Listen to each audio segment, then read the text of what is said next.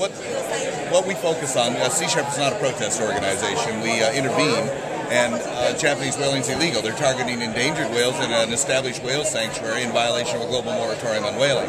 Now, when people criticize our methods, that doesn't really bother me because there's two things that we, two rules that we go by. One, we stay within the boundaries of the law, and two, we don't hurt anybody. So if you're not hurting anybody, you're not breaking the law, then there's really no legitimate cause for criticism. You know, you don't walk down the street and see a woman being raped and do nothing. You don't walk down the street and see a puppy or a, a, a, kitten being stomped and do nothing. And you don't stand there and watch whales die and do nothing but hang banners and take pictures.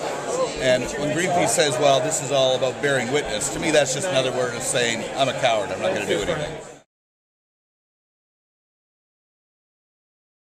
Our strategy is very simple. All we have to do is place our ships on the stern slipway of the factory ship preventing them from loading the dead whales. If they can't load the whales, they can't kill them. Two years ago, they tried to test us, and we stood our ground. It resulted in three collisions. And they realized we're not moving, and so they never tried that again. Every year, you know, our resources have increased as we've gotten more and more support, and uh, they've lost more and more money, and we can see that with the, you know, the, the, the state of repair of their ships and everything. And so this year, when we went down, we went down with three really good ships they went down with only four. Usually they have seven, so they had three harpoon vessels and that, and we were able to get on top of them almost right away. There's some who would call you more P.T. Barnum than than Jacques Cousteau. I don't know where you see they the balance. Call, they can call us anything we want. Well, they've called you a lot more things than that. Yeah, I don't care. Yeah. I mean, when they call me an eco-terrorist, I said, look, arrest me or shut up. You know, I'm not wanted for anything.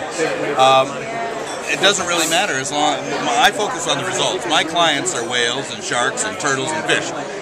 Saving their lives is what I do. Whatever people call me about that doesn't bother me at all. So, um, I'm, but I, I don't think there's one thing they can deny is that I understand strategy, I understand media, and uh, the strategy, strategies and the tactics we implement work.